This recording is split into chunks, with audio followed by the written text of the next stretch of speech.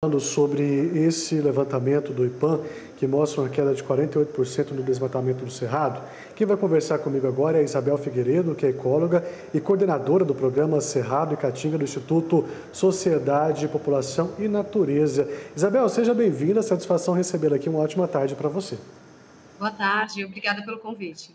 Bom, nós vimos aí um, um, uns dados, né, analisados agora aqui pela nossa diretora executiva, também especialista em direito ambiental, falando sobre isso. Nós tivemos um número significativo, né, uma queda significativa, apesar de ser o mês de janeiro com, com um acréscimo de 10%. Como que nós podemos entender, então, esses números em linhas gerais? O que, que ele representa, de fato, aí para todos nós? Certo. O que a gente está interpretando é que, na verdade, não há ainda uma queda a ser comemorada. O que, o que acontece é que no mês de janeiro, de fato, teve bastante chuva, é, o que atrapalha tanto a medição quanto o trabalho dos tratores ou das outras práticas para o desmatamento. Então, a gente precisa de uma temporalidade maior para poder comemorar que, de fato, esse desmatamento que vem sendo extremamente acelerado está realmente diminuindo. Então, a gente entende que é somente é, por conta das condições climáticas que dificultam a medição e que dificultam o desmatamento em campo. Ô, Isabel, achei interessante você começar a sua frase falando disso, que são os números que ainda não, dão pra, não dá para ser comemorado, porque se leva tempo para você reverter tudo isso. E, de fato, né, se por um lado, aqui no, no, no, Cerrado nós tivemos uma baixa no desmatamento, lá na Amazônia nós tivemos uma alta muito grande no número de queimadas. Como, como a gente vai conseguir, então, equiparar esse tipo de, de, de, de políticas, de trabalho, produtor rural, sociedade, governo, trabalhando juntos para que a gente consiga diminuir isso tudo de uma vez? As condições é, que, que, levam ao desmatamento e ao controle do desmatamento, todo o contexto socioeconômico dos dois biomas é bastante diferente. Então, de fato, o Código Florestal ele permite um maior desmatamento no Cerrado do que na Amazônia. E o clima dos dois biomas é diferente, né? Tem épocas é, que no Cerrado a situação de queimadas está acelerada, na Amazônia já passou ou ainda vai, ainda vai começar, né?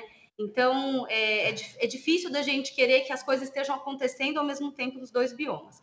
Mas o que a gente precisa, a gente sabe que a gente precisa, é que uh, os estados e o governo federal e também a iniciativa privada se comprometa nesse ano de 2024 a reduzir o desmatamento do cerrado da mesma forma como que foi feito no ano de 2023 com a Amazônia.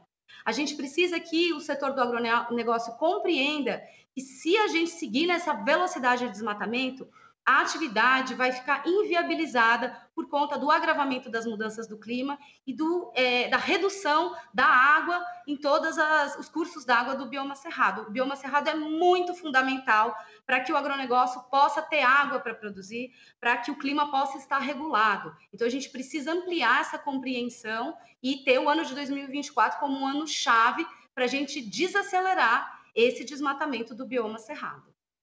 Enquanto você falava agora, me veio aqui uma dúvida que eu acho que é recorrido a gente trazer para os nossos assinantes. Porque é o seguinte, a gente fala de, de desmatamento no número geral, até, até, você falou que o Código Florestal ele permite um desmatamento maior é, no cerrado, mas ele permite um desmatamento legal, aquilo que pode de fato ser feito. Quando se levanta esses números é, de desmatamento, pega tudo, se é legal, se é legal, não tem uma separação, aí vira uma bagunça. Como que a gente consegue separar então esses dados, hein? Essa pergunta é ótima, porque a, a realidade é essa, né? Quando a gente observa, a gente está observando pelo satélite se a vegetação nativa está é, cobrindo aquele, aquele território, aquela fazenda, aquela área ou não. Então, sim, é, a gente está aqui falando de, de desmatamento legal e ilegal.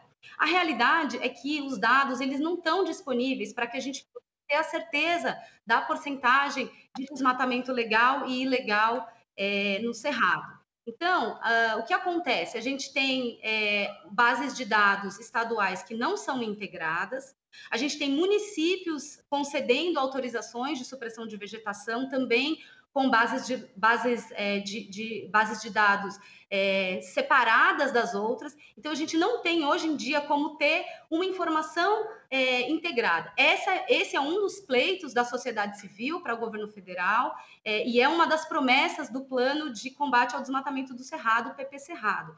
É, para qualquer bioma do Brasil, Pampa, Pantanal, Mata Atlântica, todos os biomas, é, para a gestão uh, ambiental e, e, e agropecuária do país, nós precisamos de uma integração dessas bases de dados e nós precisamos também que haja uma, uma, um estabelecimento de critérios mais bem estruturados e fundamentados para a concessão de autorizações de supressão de vegetação nativa, que é a autorização para o desmate.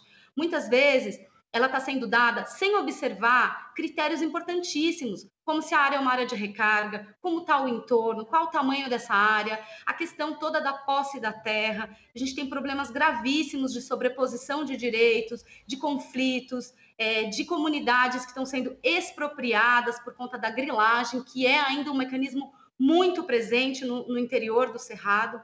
Então, se a gente não, não conseguir ter uh, todas essas questões observadas, a gente sempre vai ficar com a dúvida se esse desmatamento é legal e ilegal. E isso vai ser um problema para o agronegócio estar é, em compliance, né, estar atendendo às legislações internacionais e, os, e a própria demanda dos consumidores é, internacionais que vem sendo cada vez mais alta para que ele esteja aí respeitando a ambiental e os direitos humanos também.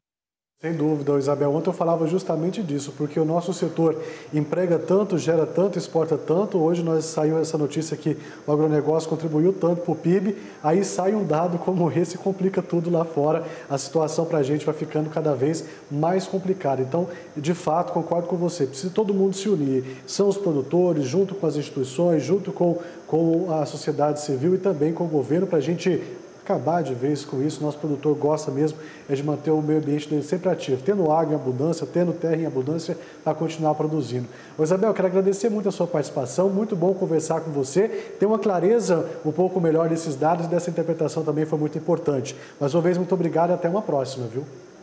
Muito obrigada. E queria deixar a mensagem de que o setor do agronegócio e o setor socioambiental precisam caminhar juntos nesse sentido para a gente ter um futuro.